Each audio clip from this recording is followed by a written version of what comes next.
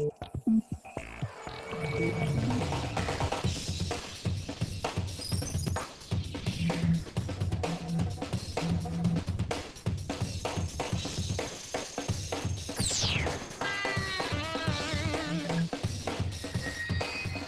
I'm Corey Nachreiner, Director of Security Strategy and CISSP at WatchGuard, and you're watching this week's On the Road edition of WatchGuard Security Week in Review, a video podcast dedicated to quickly summarizing all the big security stories from the week. This week I'm traveling in Texas speaking at various security events, so this week's episode comes from my iPhone in my hotel room here in Texas. The first story of the week is a massive hijacking of WordPress 3.21 sites. WordPress is a web framework that's used to create blog sites, including the one we host at WatchGuardSecurityCenter.com, but version 3.2 is actually an older version.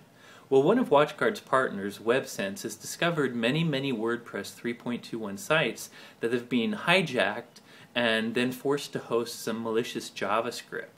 Uh, no one's quite clear how the WordPress 3.21 uh, sites are being hijacked, but we do know that that old version does suffer from a number of vulnerabilities.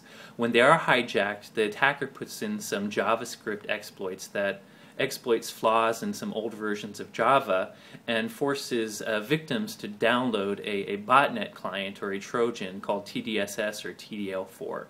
So if you host a WordPress site of your own, be sure to upgrade to a more recent version of WordPress. Don't keep using 3.21. Another security story of the week is a big OS 10 update. Uh, this update actually included fixes for many security vulnerabilities. I believe, if I remember right, the update included 52 security vulnerability fixes, and these are fixes for a number of components and packages that come with OS 10. I believe 27 components in total. And they include many of the big components like QuickTime or Core Audio or Image I.O. And some of the vulnerabilities include things like if you view a maliciously crafted image, an attacker can run code on your computer.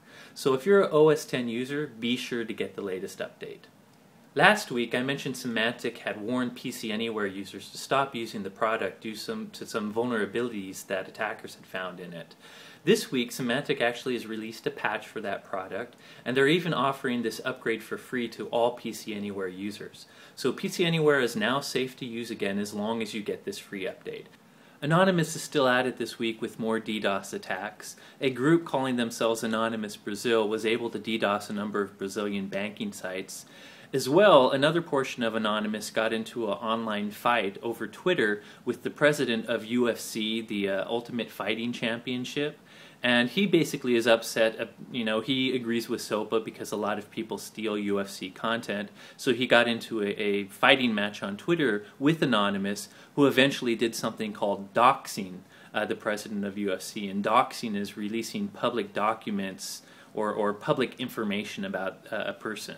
So they things like his address, maybe his girlfriend's name, uh, his his phone number, and other personal information.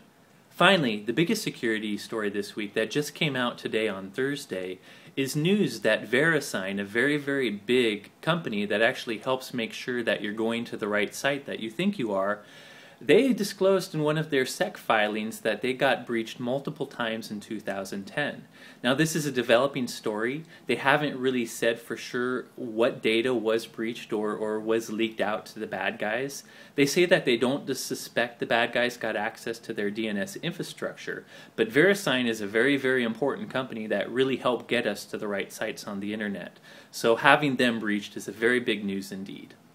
So thanks for watching. And I'm sorry if my on the road edition of WatchGuard Security Week in Review isn't quite up to its normal production uh, values, but I'll be back in the office next week.